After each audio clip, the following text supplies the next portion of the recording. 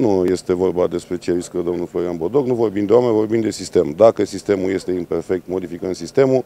Dacă este vorba despre vini individuale, vedem la ce nivel uh, sunt acele vini. Este mic Bodoc astăzi, dacă veți uh, răspunsul Și nici mâine, da? Acel părinte care refuză vaccinarea și își pune, uh, pune în pericol inconștient viața copilului, decide el asupra, asupra copilului, dacă copilul respectiv face sau nu poliomelită, face sau nu râjoală, moare sau nu, Um, eu cred că aici um, tot ce înseamnă servicii sociale, protecția copilului, iertați-mă, alți părinți sunt uh, decăzuți din dreptul pentru fapte mult mai puțin, uh, mult mai puțin grave.